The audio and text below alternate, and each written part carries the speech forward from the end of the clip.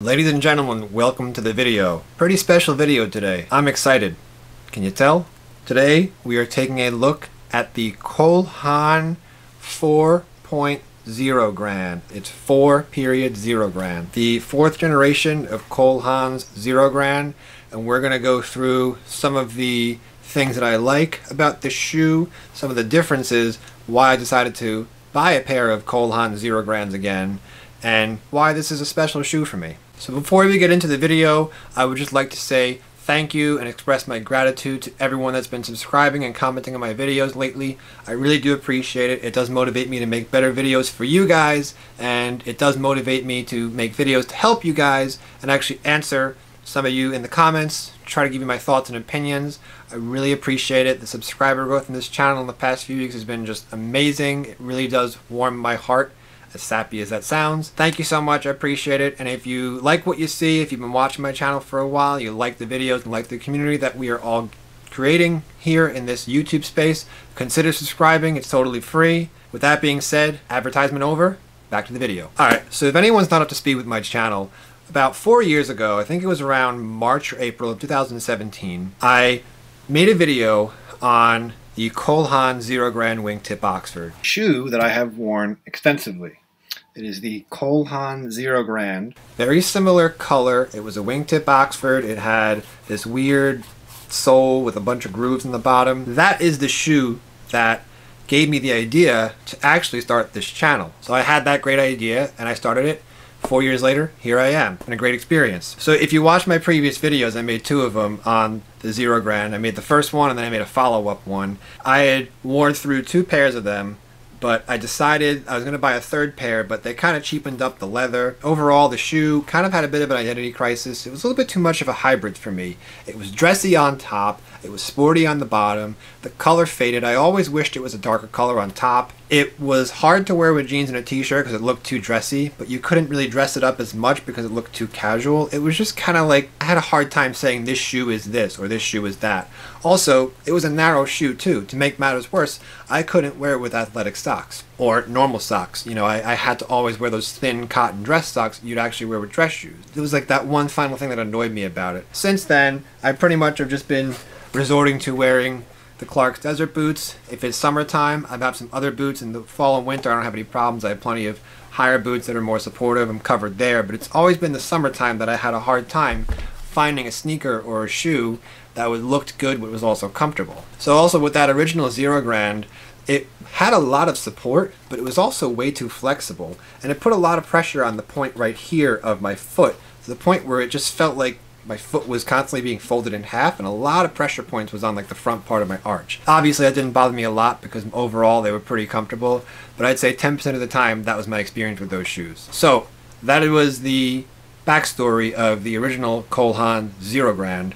Now we're going to talk about the 4.0 Grand or the fourth generation Zero Grand, why I like it, why I chose it, and just my overall opinions. Of course, if you know this channel, we're going to do a pro and cons list and then my overall thoughts. Starting off with the pros. The very first pro is, if you know me, you know if I buy something, I want to get as much use out of it as possible, and my buzzword is versatility. If I can't think of three or four scenarios to wear a shoe in or wear anything in really, I don't want it. I do not like single-use products, really, when it comes to anything. My laptop, my camera, my watch, my bicycles, my car, my glasses. I always make sure I try to imagine myself and think about how am I going to be able to use this. Really, this is just a tool that's going to perform a job of looking stylish and keeping me comfortable in most situations. I could picture myself wearing this with a nice pair of khaki shorts, polo shirt or linen shirt, pair of jeans and a blazer, or sport coat rather. This is an actual sport coat. Or I could just wear it with jeans and a t-shirt. I could even take it up to a casual suit. I'm not one for wearing super casual shoes with a suit. I'd rather just wear dress shoes or dress boots, but you can do it. This one has a more understated look to it. When you look at this shoe, you can see it's a sneaker. It's a sneaker through and through. It looks like a sneaker, smells like a sneaker, walks and talks like a sneaker. So it's a sneaker through and through. It doesn't have any crazy grooves. It has a little bit of grooves.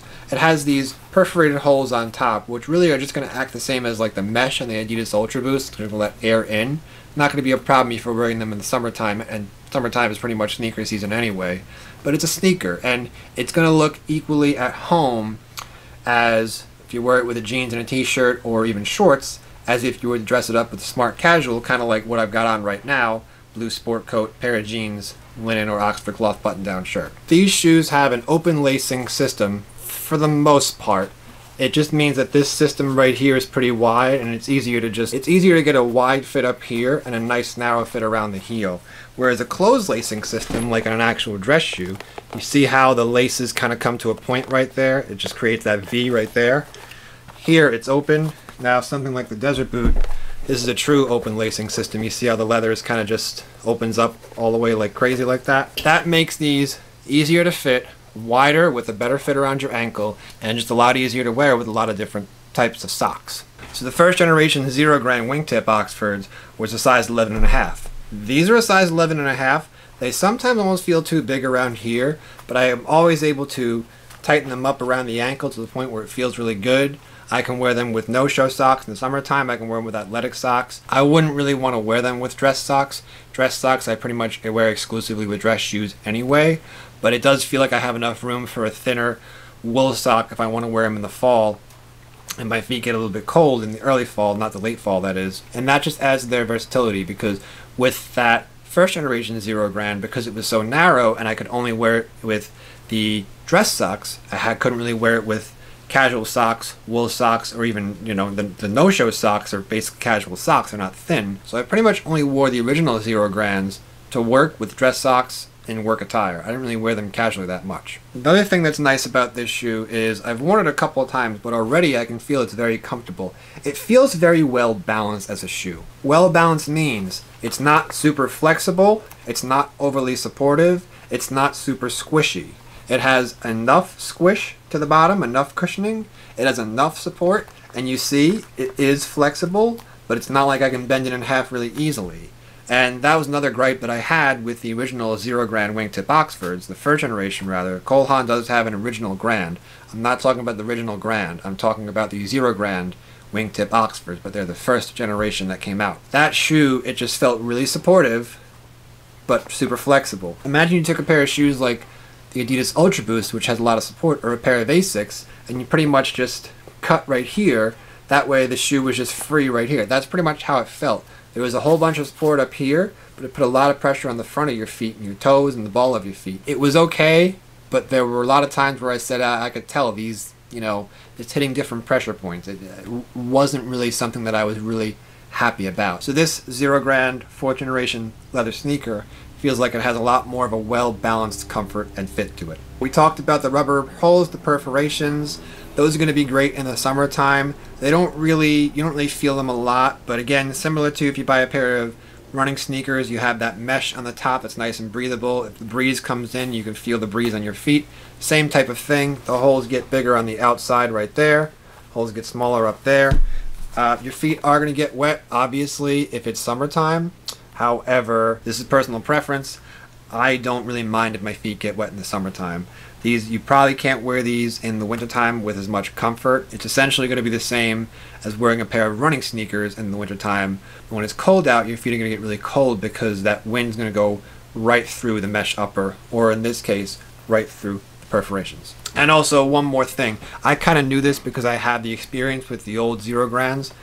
Cole Haan uses a very hard-wearing rubber on the bottom of the shoes. Now, with the first generation Zero Grand Wingtip Oxfords, they had hard-wearing rubber on the back and on the top, or on the front rather. Here, it looks like you have it all through here, and this rubber, very hard. I wouldn't be surprised if I get at least a year or more out of heavy walking with these shoes. That I'm really psyched about.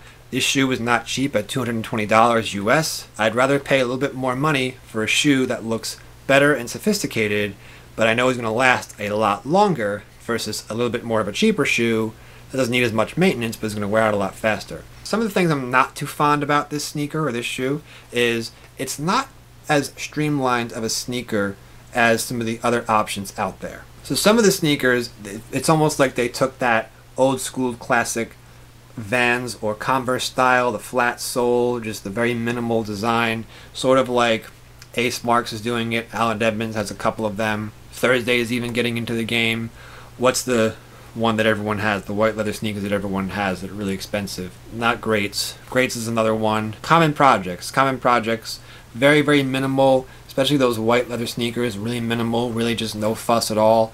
This one, a little bit more going on.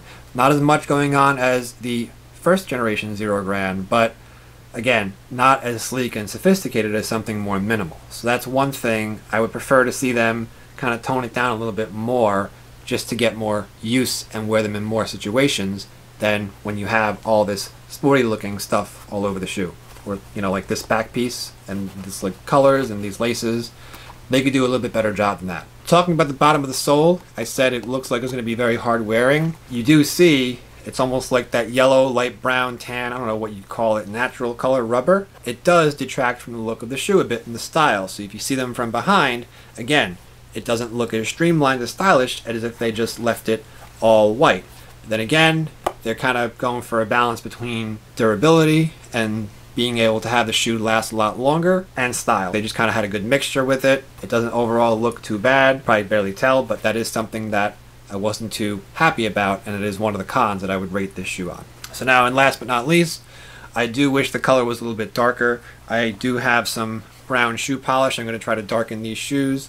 I like that it has burnishing. Burnishing basically means that the shoe is darker at the toe, lighter back here. My other problem with my first generation Zero Grands was over time they lightened up and I couldn't really darken the leather that much. I don't know if they treated the leather with something, but I really wish that I could darken the leather. So hopefully these I can darken them a little bit more because I think a little bit darker just kind of adds the versatility and makes them look a little bit more sophisticated and dressy and you can wear them in more situations than if they turn into like a light tan walnut type color. So overall, I am pretty satisfied with these shoes. The comfort is great. The versatility is great.